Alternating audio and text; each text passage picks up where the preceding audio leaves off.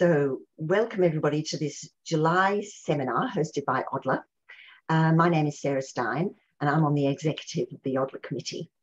Um, if, in case you're not aware, ODLAA is the Open and Distance Learning Association of Australia and um, we have close connections with the Flexible Learning Association of New Zealand and with ICDE, which is the International Council on Distance Education. Um, one of the star attractions of ODLAA is its journal, and that's called Distance Education. Um, we often have the editor of that journal with us, but he's not here today, unfortunately. Perhaps he'll join us. Uh, many of the topics of our webinar series are presented by authors who have published in the journal, and today is no exception. Um, I'd like to in introduce you to one of the authors of a really interesting article published in the November 21 issue. That's correct, isn't it, Gretta? That's right, yeah. So welcome Gretta Mohan, who is a research officer at the Economic and Social uh, Research Institute in Dublin, and also an assistant professor at Trinity College Dublin. The article is called Home Broadband and Student Engagement During COVID-19 Emergency Remote Teaching. We're seeing lots of reports in the literature about education um, during the pandemic and being able to read research, such as the research that Gretta will talk to us about in a moment, causes us to focus our attention um, on the factors relating to, to people, systems, and technologies. And these are all critical components that have to be really well crafted and thought about if a distance education system is to be effective for teachers, students, and for the institutions as well. And those critical factors tend to be the very ones that in non-crisis times are easily taken for granted. They're ignored, some often not even noticed at all as being very important, and yet they really are very important. So I'll now hand over to Gretta to lead us through the presentation. Um, please feel free to add any comments or questions in the chat as we go along, and um, we'll attempt to make sure that they're they responded to either during the session or at the end. Um, so over to you, Gretta. Thanks, Sarah. And I assume we're all good on, on, on screens and, and um, on, on, audio. Um, so that was a very comprehensive, um, challenging and thought-provoking introduction. Um, so thanks for that. Um, yes, as Sarah mentioned, this is a paper that we, the research was undertaken um, in the midst of the chaos of the pandemic, certainly here in Ireland um, during the first wave of, of COVID here. Um, and it concerned the um, shutdown of the schools, um, secondary schools, and um, the move overnight to, to distance learning. And that's certainly not been a feature of the Irish uh, school system up to this point. Um, so it's been a real learning experience. Normal schooling has resumed. Um, see something in the chat. Hello, Angela. um, and this is a paper that I've been doing with my, my colleagues Ciarán and Selina that was published last year. All right, so next slide. I'm stuck here for some reason. All right, let me see why this is not going forward. Sorry, guys. Oh, that's perfectly all right, Gretta.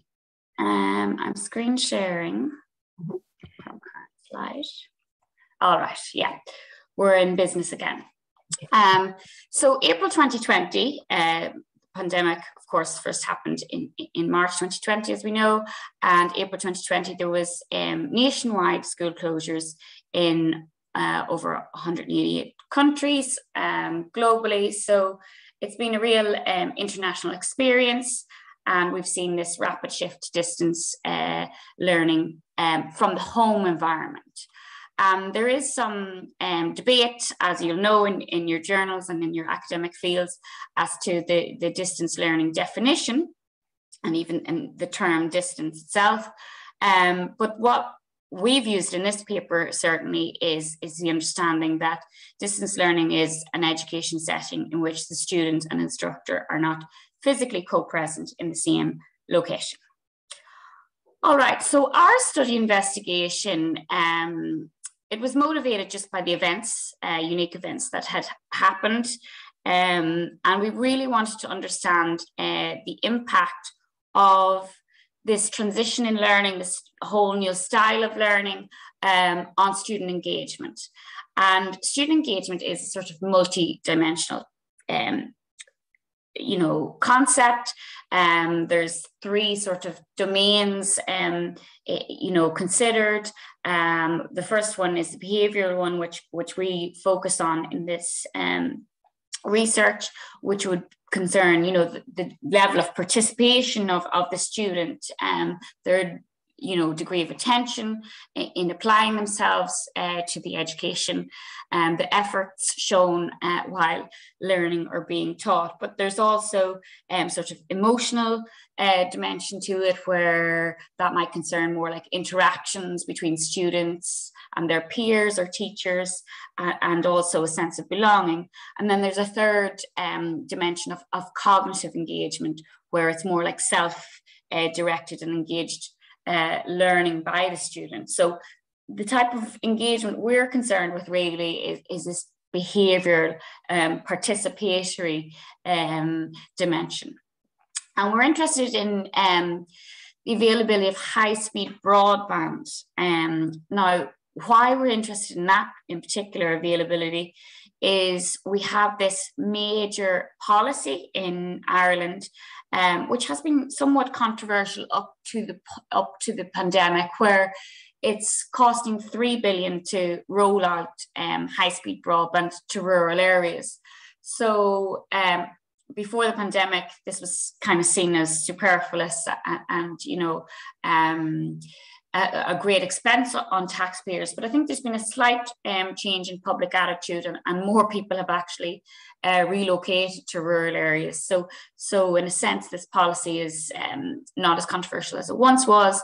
But in saying that, costs continue to escalate, and uh, it's always part of the, the policy debate here in Ireland, um, particularly in, in regard to how some of it was procured and, and the governance of it. Um, and then ICT devices, in a sense, in as far as we can we can proxy those in the study, and I'll describe that later. The application that we're you know we're looking at is secondary education. So that's from um, 12 to 18 years. Uh, secondary education is mandatory up to 16 in ireland. Um, and uh, you know, there's the final year is a very important exam year. So this is why we were particularly interested in, in secondary education as opposed to say primary or, or third level. Um, and yeah, the, the, findings that we have, you know, do have policy considerations before um, the pandemic, even the European Commission um, had recognized the value of, of distance learning and uh, puts that as a reason for um, having these major uh, infrastructure investments in high speed broadband. Um, and then at the national level, uh, I've just described uh, some of the uh, debates and, and news and everything that's generated around this topic. All right, so in terms of our research question, um, we asked, you know, is student access to high speed broadband or to ICT devices at home in the household um, associated with the impact of the shift to distance learning on student engagement. So just very briefly, um, what has been the literature up to this point when, when we were doing the study? Um, the first dimension, there's three strands, and, and the first is the impact of the school, school closure. So when we were undertaking this research, it was May 2020, the schools had closed for two months. And say, I think the first report on this was released in June, uh, the end of June.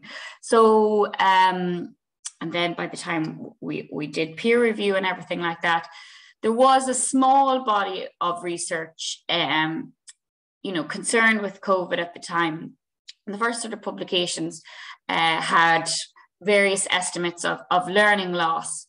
And it was predicted, in particular, um, maths uh, would suffer in terms of learning at secondary level, and also reading scores would be half as likely uh, uh, uh, and this sort of thing. There was definitely, um, I'm sure it's the case in New Zealand and Australia and elsewhere, a huge um, emphasis on how this is affecting kids in terms of their health and well-being, uh, the loss of the school, um, you know, place as a, as a forum for interaction with peers and also uh, for disadvantaged um, students, the home environment may not be um, ideal.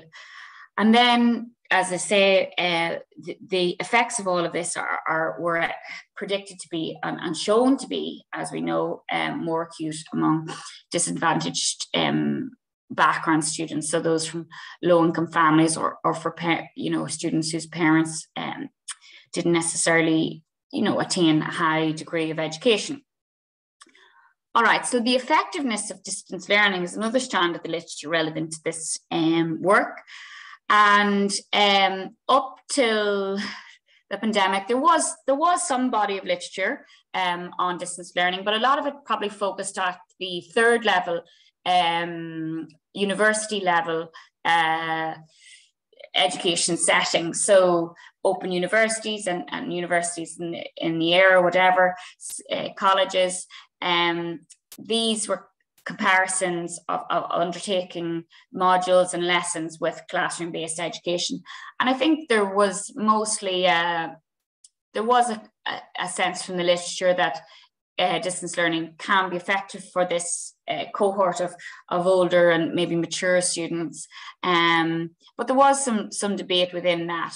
And, you know, the effectiveness of distance learning was um, thought to be, you know, influenced by, uh, I, I just see some comments, I'll get to them at the end, you know, the student characteristics in terms of their own uh, ability to, uh, you know, regulate their learning, to be motivated, um, to undertake the lessons in, in their own time. And then in terms of the lesson delivery factors, uh, some literature would show that more live, uh, you know, concurrent um, synchronous um, lessons were more effective than the likes of a, you know asynchronous um, in their own time uh, education. So that's was the state of play. And once again, this is stopped. Why is that?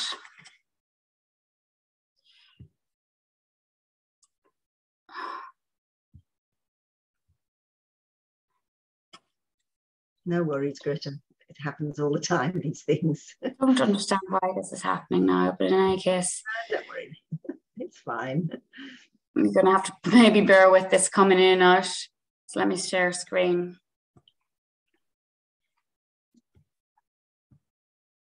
And this is the third um, strand of the literature concerned with student engagement itself. So that is, is a lot to do with, um, in the literature, strong student-teacher relations, um, a positive school climate, a school ethos that is very encouraging of the students. And some evidence prior to the pandemic was that ICT, the use of that in the classroom, um, allows for more collaborative, um, you know, approaches to lesson delivery and, and um, engagement by students. So getting to our study, um, the data uh, this was primary uh, research uh, where we, um, upon the pandemic, designed a, designed a survey. And certainly, um, needless to say, in the environment that it was, it was an online survey. And we had emailed, we have good connections at the Research Institute with the National Association for Principals and Deputy Principals, um, which is an association of, of secondary school leaders in Ireland. And we administered the survey through the email contacts we have there in May 2020. And it was a it was a crazy time for principals as they tried to have a continuation, a continuity of, of the school environment in this time. So um, some principals were very receptive of, of the research and others were like, I just don't have time.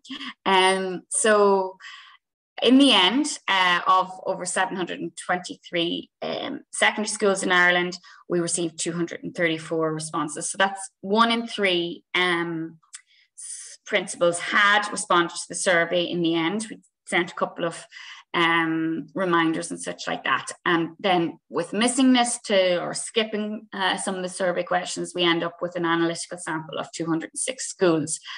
And that was the quantitative arm of, of this study. We had also then followed up um, with a qualitative interviews uh, with 10 school principals from, you know, an, a, a, sample of, of uh, a variety of schools across the country in terms of their structural characteristics, their disadvantage level, and, and this sort of thing to get um, a bit of colour on, on the statistics so it was a mixed method study and I, am I'm not going to go into the qualitative interviews at the moment in this particular uh, paper.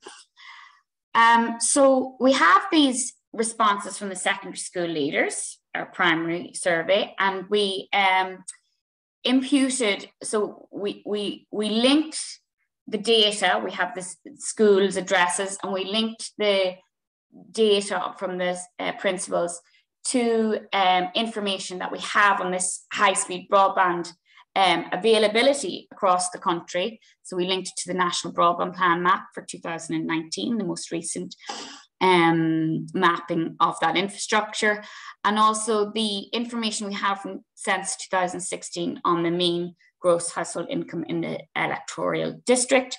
And the school catchment areas were defined um, according to rurality. So in urban areas, we drew sort of um, based on the National Transport Survey and the Growing Up in Ireland survey, eight uh, kilometre. Uh, I know New Zealand and dis, uh, is very different in terms of geographical size and Australia as well to Ireland, but we had eight kilometre radius around the schools that was sort of proxy for the catchment areas and um, for rural areas it was 24 kilometres. So, so this was the best uh, inf information we had at the time and, and, what we did at that time. So I've mentioned the, the very controversial National Broadband Plan and I just noticed in the chat someone said that 3 billion doesn't sound like a huge, okay, huge amount of money and in Australia a figure of 43 billion is discussed. Wow, well I'm sure um, Australia has the outback and everything like that. Maybe the size of Ireland is probably like a tiny county in, in Australia. I'm not quite sure. Um, but but costs are escalating, so I'm sure it's possibly going to be more like five billion in the end, up till 2027, 26 that they want to have this uh, high-speed broadband coverage universally available.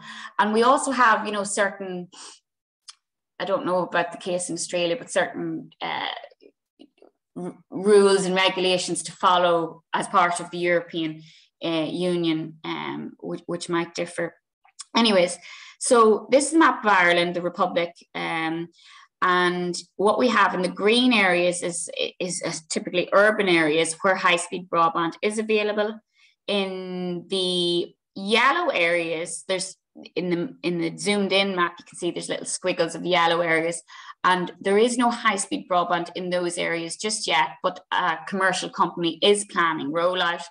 And then in the orange, the rest of the country, which is rural areas, uh, there is no high speed broadband available um, and no commercial company plans to uh, provide it because it's not maybe profitable. So that's where um, state intervention is required in the orange areas.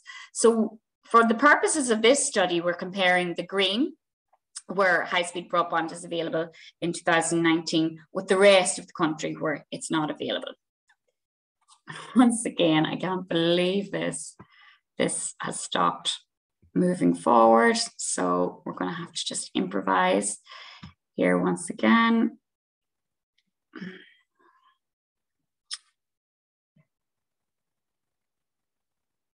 Share screen.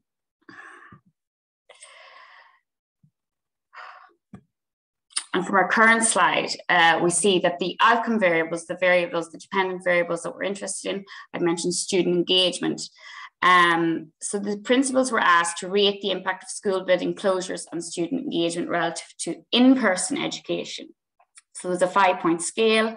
Um, and how we actually ended up framing this was um, so it ranges from much better, better, similar, worse, much worse. We, we framed it in terms of the negative, um, worse or much worse. And 69.9% of principals had reported that the um, student engagement was, was worse. We took some, some various different groups within that, the student engagement of third years, which were doing state exams, um, the junior certificate, um, and this final year um, state exams, uh, the Leaving Cert. We also looked at the delivery of lesson content and, and student um, attendance as outcomes, and these are all framed in the negative sense. And, you know, by and large, uh, apart from delivery of lesson content, you know, more than 50% of, of, of, of this surveyed principals um, had said that uh, things were worse on those fronts. In terms of our quantitative approach, we have a logistic regression. On the left-hand side, uh, we're measuring the probability of uh, the principal reporting worse engagement as a function of this high-speed broadband um, variable income, which is a proxy for the uh, devices available in the house, and all the other factors in the X. Um, adjust for key school characteristics which might um, influence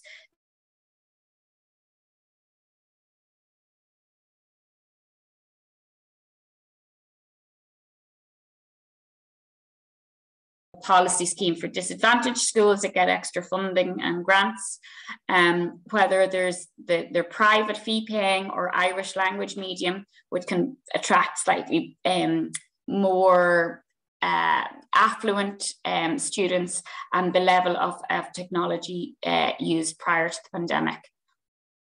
All right, so um, just in terms of the results, so our outcome is the negative impact on student engagement and we have odds ratios uh, reported. So high-speed broadband availability, um, where the catchment area, we're comparing where there's um, pretty much universal, more than 90% of residents have high speed broadband available because you need a certain degree for this um, sort of live teaching and, and, distance teaching to be viable, I suppose.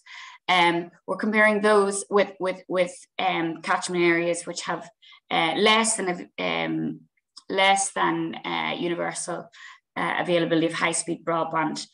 Um, and what we find is that where high-speed broadband is, is, is greater available, there is a three time, uh, where high-speed broadband is not available, there's a three times more likely, a higher odds ratio of the principal reporting a negative impact on student engagement.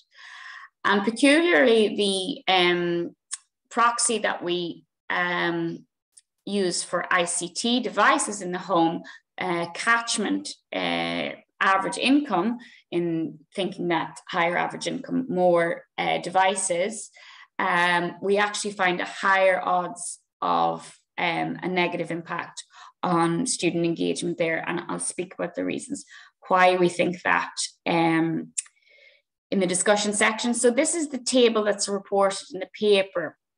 So it's only, a, you know, I've mentioned those five outcome measures, overall student engagement, the engagement for the two exam years, and the delivery of lesson content um, didn't seem to be uh, register as um, influenced by, by this uh, availability of high-speed broadband or not, and student atten attendance.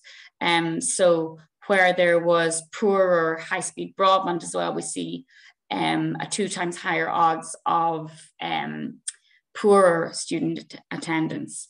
And apart from you know those those log of catchment areas that proxy for ICT devices also um, seems to be higher across the specifications.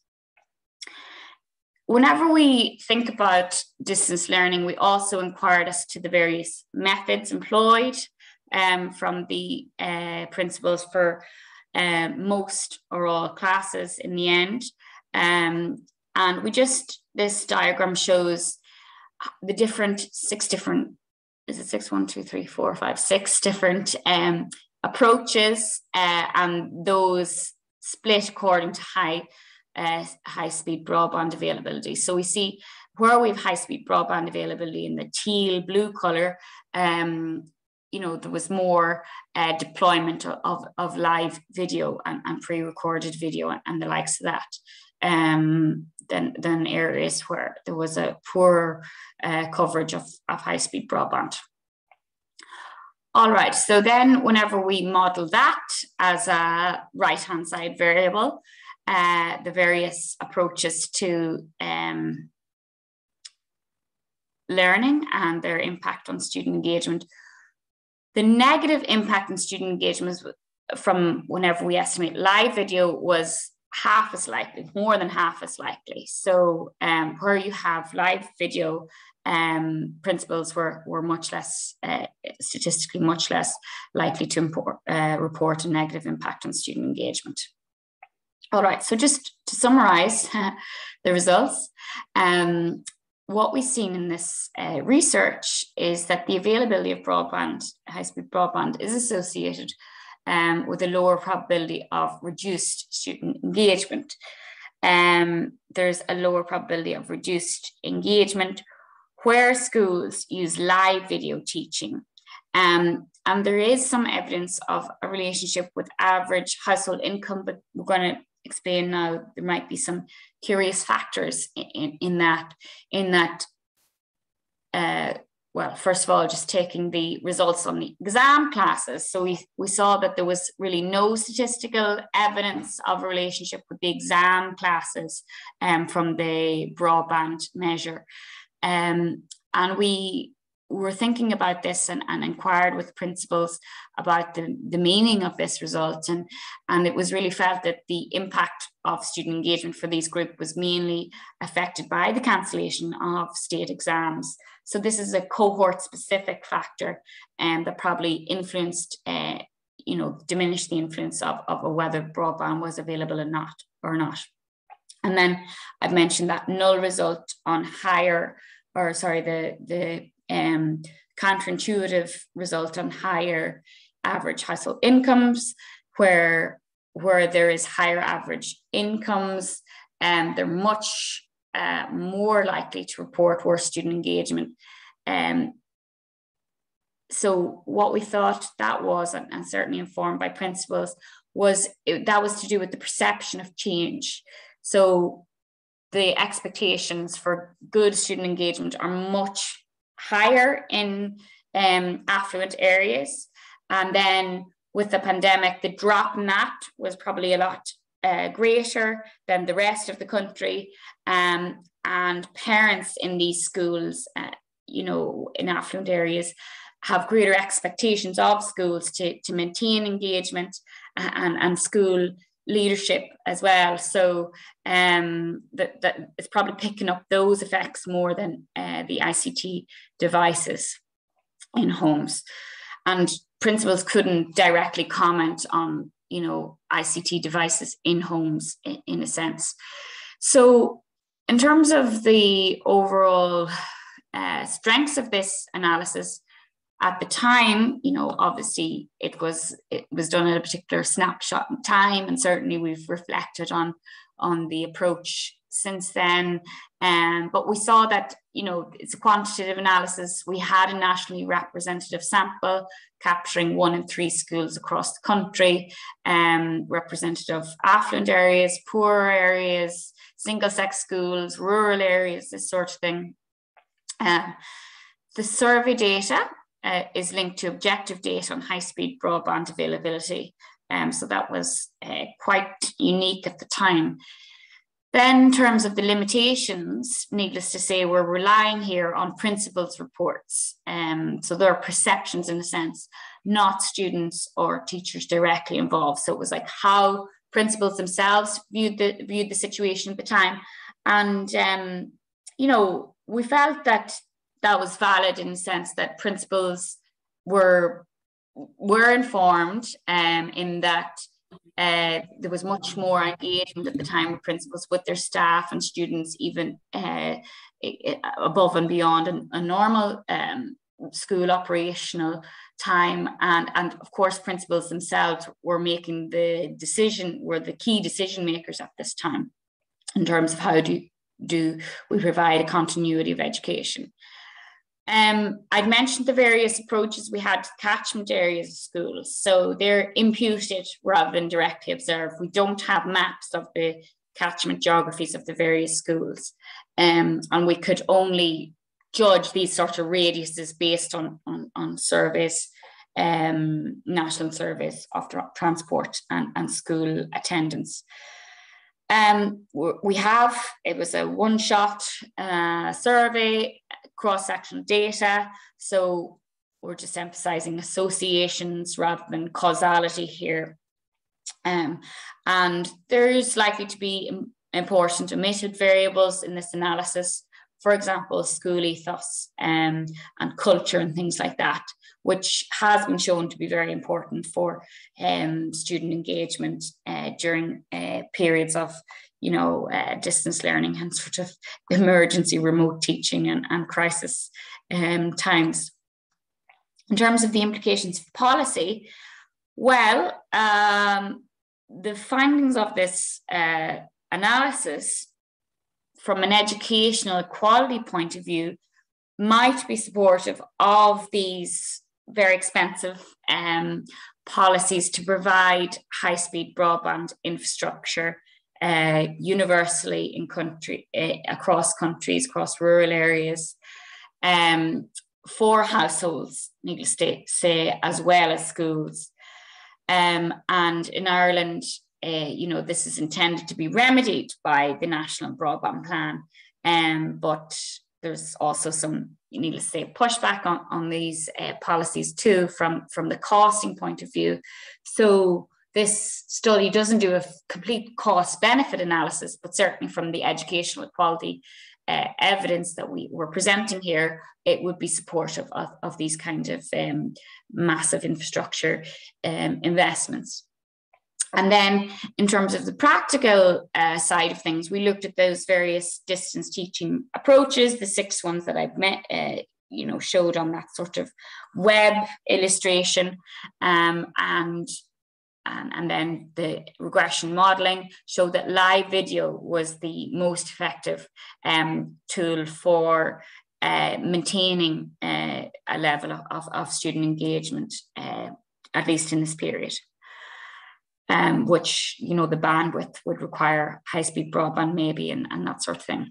So the conclusions. Um, principals had perceived a general decline in student engagement um, during COVID-19 school build, build, building closures. Our statistical modelling um, suggests that the reduction in engagement was more likely among schools located in areas characterised by low coverage of high-speed broadband. And um, this may be partly explained by a lower probability of reduced student engagement found for schools that employed live online video applications for most or all classes in their teaching. Um, so I'll leave it there for now and um, welcome any comments, uh, questions, or suggestions. And I do apologize uh, about the um, various tactical challenges I had um, in, in that delivery. So um, I think there's thanks all. Okay, so we have a couple of comments in the uh, chat, and I, would mentioned the, the 43 billion, which is astounding. Distance education, paper based. Yeah, so does this occur um, yes, there's certainly in the qualitative um, in the qualitative interviews with principals, there was, uh, depended on the teacher style and, and, and, the school's approach, but in rural areas, in country areas, there was, uh, you know, the postman was very busy in terms of delivering uh, worksheets and uh, parcels and, and that sort of thing. So there was worksheets delivered and returned by students. I've, you know, at the time, um, the school premises, they couldn't, uh, you know, deliver these back to the to the school premises as as as as parents or anything like that. So it was all done via via post and, and these particular folders that some schools employed, um, which I don't think was a deal, but when I was growing up, uh, we were still using worksheets and textbooks and, and that sort of thing. So done, done us no harm, but uh, yeah. Uh, yeah, thanks, the, Yeah, it's mm. crazy, really, though, isn't it? It seems crazy, but uh, yeah, no, thank you. It's interesting. It is a realistic sort of thing to think about, though, because we've at work we've pondered um, what do you do for students who are in jail, for example. Right. I know we're talking about tertiary here. Yeah. People in jail cannot have any access to the internet, and I know that um, there are those in Australia um, who explore, have created sort of offline learning management systems and, and the like. But again, yes, it requires the electronic means. So it's not really paper based anymore, but, but there's something else. If, if a system wants to engage as many students and, ac- and give stu- as many access to their education, it's very interesting. Yeah.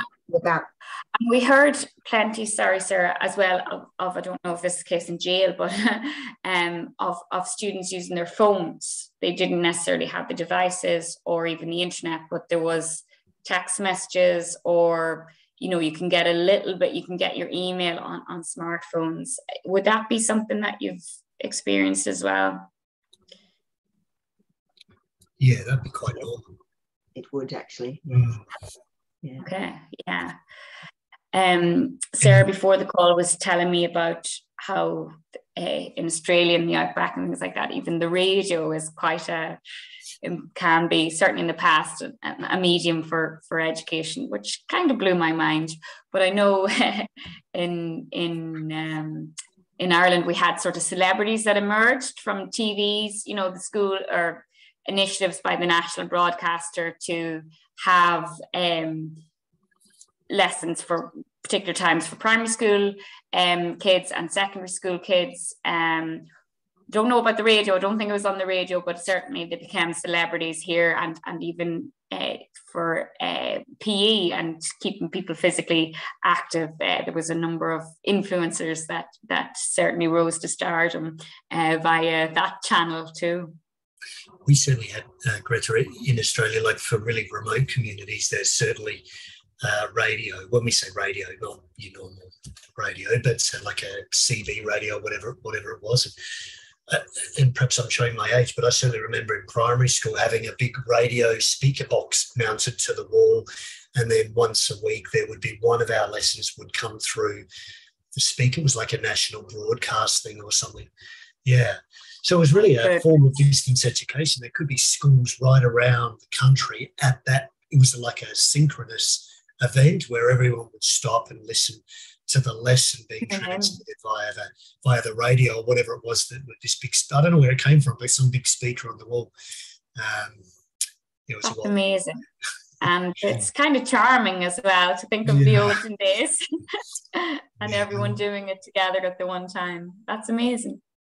Mm yeah, sort of a form of distance education. I mean, an early form of distance. So the evolution was then perhaps what you what you described there was the the paper based because I did a postgraduate here in Melbourne at Deakin University, was an early distant education adopter, and they used to bundle up the course material and send it in the post. And if you wanted a library book, you could get the library book delivered and turn up on your front door. It was a distance education model, correspondence, they used to call it in that day. It was sort of the radio, then the paper based. Um, but again, it was probably 25 years ago. that I don't yeah, know yeah. anyone where they're sending out paper based material now. Uh, yeah, and yeah. at the time of the pandemic, there was the safety worries, you know, about yeah like couldn't be engaged because staff buildings were closed down and things like that. So there's that dimension to it too, I suppose. Yeah.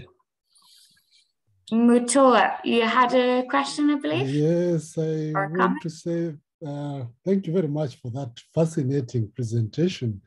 Uh, broadband internet is uh, something that excites me quite a bit because uh, when it was introduced in Australia uh, at about 2013, it was a very, very hot political issue mm. because there were people who supported the whole idea of a broadband internet, and there are those who prefer to stick to the old model.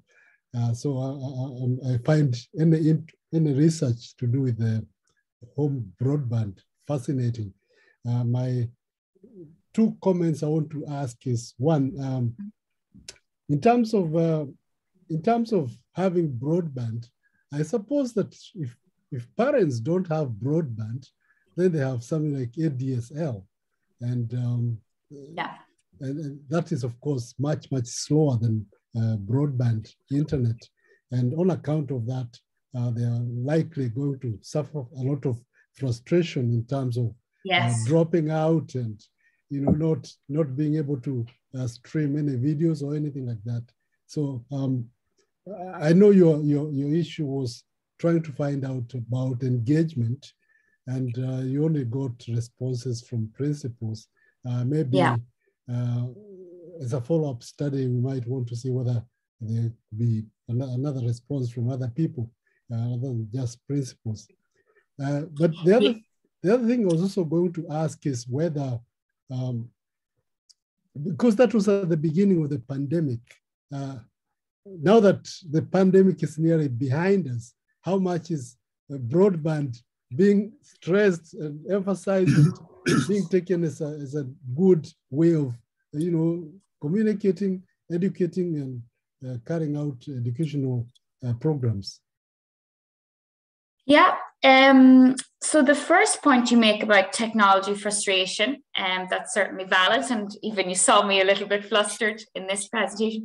But I suppose the cohort of young people, um, and they certainly instant, uh, you know, sort of short attention spans and a need for instant gratification, in a sense, is, is very important. Uh, you know, important, and even in terms of you'll see possibly the case with you guys as well. But what happens is a lot of broadband companies are now advertising this continuity of service. So, say even your uh, broadband goes down in the house, if it's Vodafone providing your broadband wirelessly and your broadband goes down, they're they're advertising, um, you know, that it will be continued through 4G, 5G, or whatever other means. And um, so there's, you know, frustration is certainly a topic and, and I'll tell you from other research that I've done, it's more the older people that get very fed up um, with technology very readily and just rubbish it um, if there is breaks in, in service and, and, and dropping out uh, in terms of, of their attention span. But yeah, you're you're absolutely right. It is a risk. Um, and, and certainly, um, hopefully, I suppose will improve in the future, of course, with the move from copper to fiber and all of these things.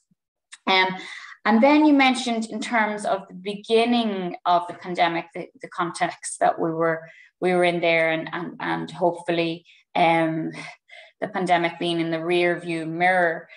Yes, there is this sense of hopefully it's behind us and there won't be events that require um, distance learning. I suppose the sense is we don't know what the future holds. Obviously, pandemics are more of a threat now, um, but also climate change. And we've had a lot of um, adverse weather events, storms, and um, things like that, which might in the future feature more as emergent, maybe more at a local level or a state level, as emergency occasions where distance learning and this practice might need to be switched on overnight.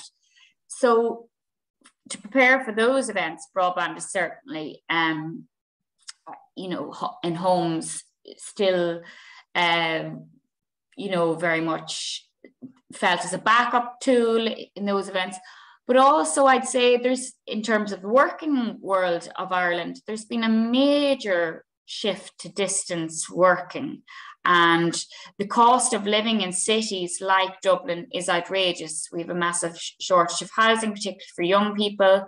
And um, the cost of renting is, is outrageous. So what we're finding, and hopefully maybe it could be in the census, the next census, we'll see maybe a shift away from the urban centres to rural areas. And I have been one of those people who've moved to Connemara, which is just stone walls and sheep, and I have to go into the office once a week, um, which is a four-hour journey. But I but I do it to live out in this rural area, and I've ordered broadband in December, and it still hasn't come. So what I do is I go to a digital hub in the village, and these have sprung up and you're finding more and more people are taking renting a desk in in these digital hubs. But i would like to have my own broadband in the house needless to say um, rather than operating on, on, on the very poor phone signal and 4g reception. So um, i think we've things have changed radically um, and the justification of these costs the public perception of this has changed and, and is um, we don't like taxes, of course, but uh, it's not as begrudged maybe as it was prior to the pandemic. Certainly, access to broadband, or perhaps not even broadband. I don't have access to broadband, and I will probably never get it. The fibre company is not going to do it. But um, uh, it, it's it's almost like access to running water. It's becoming yeah essential component in modern life, really, isn't it? Almost, it's getting that way. Mm. Um, it was like the electric electrification. That's a difficult word.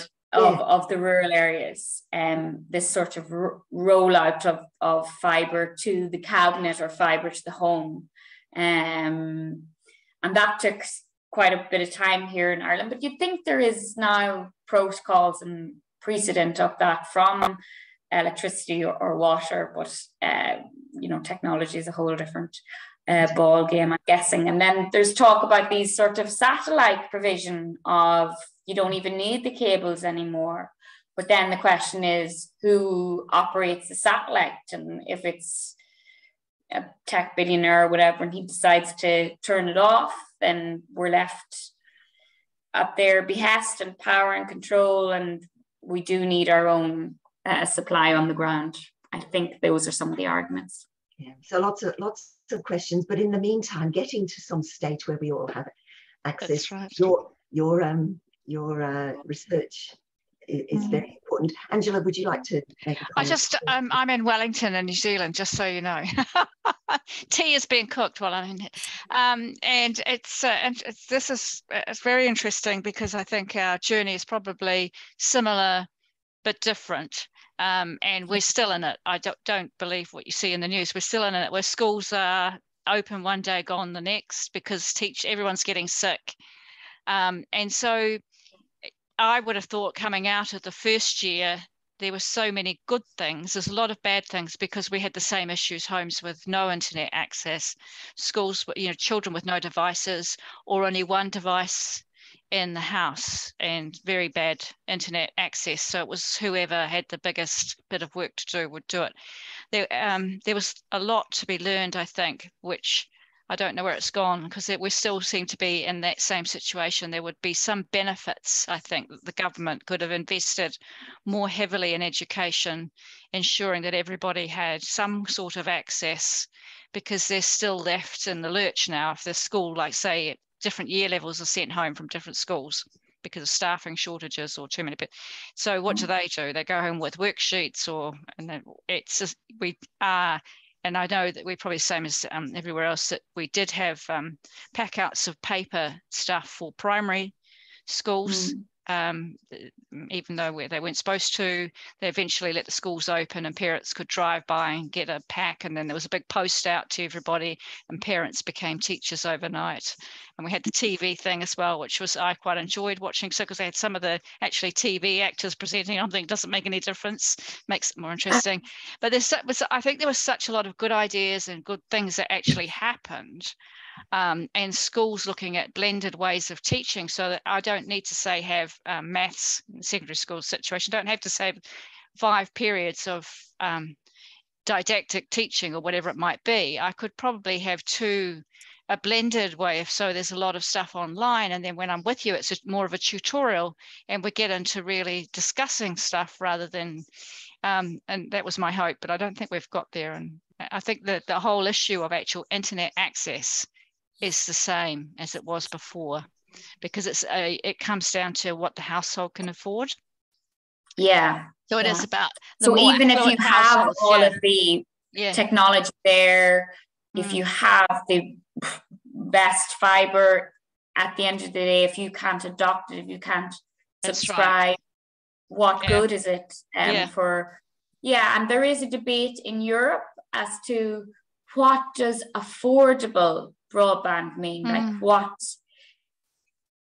you know what sort of subscriptions is there going to be a sort of mandatory obligation on private companies to provide Mm. what they deem to be affordable broadband but of course you have massive differences in, in cost across all of those countries um, so it is a live debate and, and for some for some very poor um, students there was you know the provision of dongles those sort of data Yes, sticks yeah, and things yeah. like that um, but i suppose Mm. there was a sense that this was all very temporary and then you know we thought in our workplace that the offices would be closed for you know two weeks maybe uh, and then now sure we're all working from home but that's different to school Same. but I'm still at um, home.